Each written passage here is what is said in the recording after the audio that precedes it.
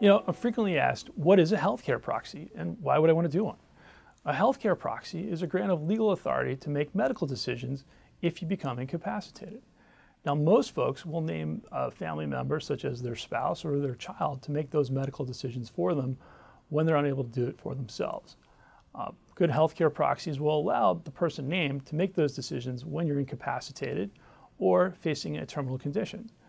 Um, we re recently had a, a, client who um, was exercising their authority under a healthcare proxy and was able to determine what type of care and treatment her mother was to receive after she'd been in a car accident.